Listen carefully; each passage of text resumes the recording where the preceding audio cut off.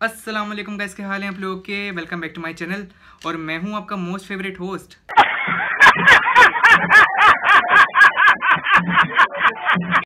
Arham Khan. तो guys आज आप लोग का भाई बहुत हीरो जैसा लग रहा है। मैं पागल वागल हो गया रिवाइंड करूँ जरा। तो गाइस आज आप लोग का भाई बहुत हीरो जैसा लग रहा है। वही बात है भाई कब तक छुपोगे पेड़ों की आड़ में कभी तो मिलोगे लुंडा बाज़ार।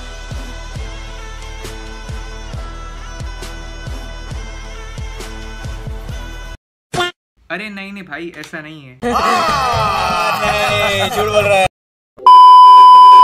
सो गाइस अपने टॉपिक की तरफ़ चलते हैं और आज हम रिएक्शन देने वाले हैं most stupid peoples in the history of mankind Haider TV तो टाइटल तो बहुत ही ड्रोनस है। तो चेक करते हैं कि भाई इस वीडियो में क्या ऐसा है जो ऐसा टाइटल दिया हुआ है। और गाइस मोस्ट इंपॉर्टेंट थिंग जो मैं बोलना भूल गया हूँ मेरे चैनल को जल्दी जल्दी से सब्सक्राइब करो, जल्दी जल्दी से लाइक करो, जल्दी जल्दी शेयर करो, ताकि हमारा चैनल बुलंदियों में पहुँच जाए। और आप लोग के लिए मैं अच्छी अच्छी वीडियोस में और ला सकूँ और मैं मोटिवेट होता रहूँ। तो अभी वीडियो जान चलते हैं और बाकी बातें बाद में।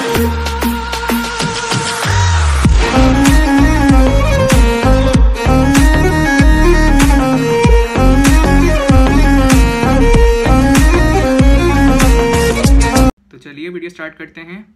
स्टार्ट असलम दोस्तों मेरा नाम है वकास हैदर और आप देख रहे हैं हैदर टीवी। दोस्तों हम सबको एक ना एक दिन इस दुनिया से ज़रूर जाना है लेकिन किसी को भी मरने की जल्दी नहीं होती पर हर कोई तो। इतना सियाना नहीं होता बल्कि कुछ लोग तो ऐसे भी होते हैं जो कि खुद चलकर मौत के मुँह में चले जाते हैं। वेल आज की इस वीडियो में मैं आपको अपनी हरकतों की वजह से मरने वाले दुनिया के सबसे स्टूपिड लोगों के बारे में बताने जा रहा हूँ। तो शुरू करते हैं अपना काउंटडाउन एमी लोएस थॉर्पी दोस्तों अगर कोल्ड ड्रिंक्स की बात की जाए तो ये हर किसी को ही पसंद होती हैं। नॉर्मली लोग कोका कोला या पेप्सी का एक दिन ही पीते हैं लेकिन न्यूजीलैंड में रहने वाली एमी लुइस को कोका कोला कुछ ज़्यादा ही पसंद थी। ये चौंतीस साल आंटी एक दिन के अंदर छह से आठ कोका कोला की बॉटल्स गड़प कर जाती थी। वेल ये आंटी वैसे ही बहुत ज़्यादा मोटी थी। ऊपर से डेली कोका कोला का पूरा टैंकर पी जाना ये तो और भी ज़्यादा खतरनाक था। लेकिन इस औरत ने किसी की एक नहीं सुनी बल्कि दे पर दे कोका कोला की तबाही करती रही। असल में इसे कोई और काम धंधा नहीं था।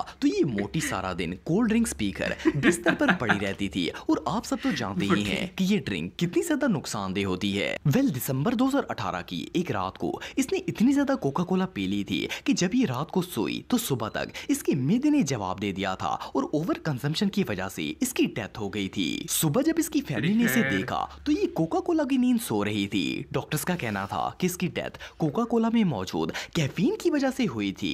लेकिन बहरहाल जो भी हो ये दुनिया की वाहिद आंटी है जो कोका कोला पीकर लुढ़क गई थी। जॉन चाओ दोस्तों आप सबने बहुत सी मूवीज़ में इस तरह की आदमखोर जंगली लोग देखे होंगे जो कि लोगों का शिकार हाँ, तो करके खाते हैं। लेकिन ये लोग सिर्फ़ मूवीज़ में ही नहीं बल्कि इंडिया के सेंटिनल आइलैंड पर रियल में पाए जाते हैं। ये जंगली कबीला इस आइलैंड पर कई सदियों से रह रहा है और जो भी इस आइलैंड के करीब जाने की कोशिश करता है ये इस पर तीरों से हमला कर देते हैं और इनकी जान लेने में एक सेकंड भी नहीं लगाते। ये सब जानने के बावजूद भी, जॉन चाओ नामी एक शख्स ने इस आइलैंड के लोगों के साथ दोस्ती करने का फैसला किया।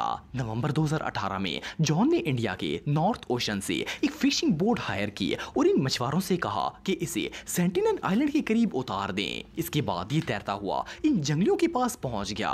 वेल, ये आइडिया जितना स्टूपिड लगता है, इससे कई ज़्यादा खतरनाक था। इन इंडियन मछुआरों के मुताबिक, जैसे ही जॉन किनारे पर पहुँचा तो उन लोगों ने इसे तीर मारना शुरू कर दिए और इसके गले में रस्सी डालकर इसे घसीटते हुए अंदर ले गए। वेल इन जंगलियों ने जॉन के कबाब बनाए होंगे। या इसे फ्राई करके खाया होगा। ये बात तो कोई नहीं जानता लेकिन इसके बाद जॉन भाई किसी को भी नज़र नहीं आए। बहरहाल जो भी हो जॉनी भाई को तो ये फ्रेंडशिप बहुत ही महँगी पड़ी। दोस्तों ये जो शख्स आप दिख रहे हैं इसका नाम डेविड रेस्टन है और ये अमेरिका के इलाके मैरीलैंड में रहता था। डेविड को सांपों से बड़ा ही प्यार था। आमतौर पर तो लोग डॉग्स और कैट्स को पेट बनाकर रखते हैं लेकिन डेविड ने एक नहीं बल्कि दर्जनों सांपों को अपने घर के अंदर पाला हुआ था। इसे लगता था कि पूरी दुनिया गलत है और सांप बिल्कुल भी खतरनाक नहीं होते। अच्छा, इसी साल है 19 जनवरी को इसके नेबर्स ने पुलिस को कॉल की कि डेविड कई दिनों से अपने घर से बाहर नहीं निकला। जब पुलिस इसके घर पर पहुँची तो डेविड की लाश बरामद हुई। असल में इसके प्यारे सांपों में से किसी एक सांप ने डेविड को पप्पी कर दी थी जिसकी वजह से इसकी डेथ हो गई थी। आप बिलीव नहीं करेंगे कि डेविड ने 125 खतरनाक सांपों को पेट बनाकर घर में रखा हुआ था। इवन पूरे घर में इन सांपों के रहने के लिए जगह भी बनाई गई थी और डेविड बाकायदा इन्हें खुराक भी प्रोवाइड करता था। डेली मेल न्यूज़ के मुताबिक इसके पेट्स में अफ्रीकन ब्लैक माम्बा और बर्मीज पाइथन जैसे खतरनाक सांप भी शामिल थे। लेकिन अनफॉर्चुनेटली डेविड अपने पेट का चुम्मा बर्दाश्त नहीं कर सका और इसकी डेथ हो गई। अब बंदा मौत को उठाकर अपने घर पर ले आएगा तो ऐसा तो होगा ही। कोरी टेरी दोस्तों ये जो शख्स आप दिख रहे हैं इसका नाम टेरी था और ये न्यूयॉर्क में रहता था। ये कंस्ट्रक्शन वर्कर था और इसकी एज 33 साल थी। नवंबर 2011 में ये अपने दोस्तों के साथ बास्केटबॉल मैच खेल रहा था कि इस मैच के दौरान इसने रेड बुल का एक टिन पिया। आप सब जानते हैं कि रेड बुल दुनिया की सबसे पॉपुलर एनर्जी ड्रिंक है, लेकिन टेरी को ये ड्रिंक कुछ ज़्यादा ही पसंद आ गई थी। ये मैच के दौरान रेड बुल मंगवाता रहा और साथ साथ पीता रहा। आप बिलीव नहीं करेंगे कि शैम्पू ने एक एक करके रेड बुल के 12 टिन पी लिए थे। जैसे ही इसने एनर्जी ड्रिंक का आखिरी टिन खत्म किया तो इसकी तबीयत बिगड़ना शुरू हो गई। ऑफ़ कोर्स अब बंदा इतनी ज़्यादा एनर्जी ड्रिंक पी लेगा तो इससे और क्या एक्सपेक्ट किया जा सकता है? टेरी को चक्कर आने लगे थे और आखिरकार वो ज़मीन पर गिर गया।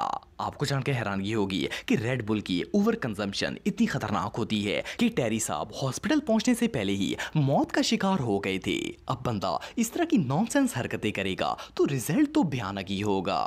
शियोहारा टेडजू दोस्तों आजकल सोशल मीडिया का दौर है और हर कोई लाइव स्ट्रीमिंग करके अपने आप को फ़ेमस करने में लगा रहता है। वैसे तो ये काम जवान लड़के और लड़कियाँ करते हैं लेकिन क्या हो अगर एक पचास साल अंकल को लाइव स्ट्रीमिंग का चस्का पड़ जाए ये जो बंदा आप दिख रहे हैं इसका नाम टेडजू है और इसकी उम्र सैतालीस साल थी। ये जापान में रहता था। इस चाचू को बुढ़ापे में लाइव स्ट्रीमिंग का बोझ चढ़ गया था। अक्टूबर 2019 में ये जापान की बर्फानी पहाड़ी माउंट फ्यूजी पर लाइव स्ट्रीमिंग के लिए चला गया। इसने वीडियो को टाइटल दिया कि let's go to snowy Mount Fuji और हैरानगी की बात यह है कि इस बंदे ने सिर्फ़ एक जैकेट पहनी और दो स्टिक्स लेकर पहाड़ पर चढ़ना स्टार्ट कर दिया। वही अभी लाइव स्ट्रीमिंग कर ही रहा था कि सेफ्टी गियर ना होने की वजह से इसका पाँव पहाड़ से स्लिप हो गया। शॉकिंग बात यह है कि सिहारा लाइव वीडियो पर पहाड़ से गिर रहा था और इसके फॉलोअर्स इसे देख रहे थे। बदकिस्मती से नीचे गिरते हुए ये चट्टान से टकरा गया और इसकी मौके पर ही डेथ हो गई। इसके हो सब्सक्राइबर्स ने फ़ौरन पुलिस को कॉल की लेकिन इसकी बॉडी बर्फ़ में गुम हो चुकी थी। आखिर दो दिन की रिसर्च के बाद रेस्क्यू टीम ने इसकी बॉडी को ढूंढ लिया। बिलीव करना मुश्किल है कि सिर्फ़ व्यूज़ के चक्कर में इस बंदे ने अपनी जान गंवा दी थी।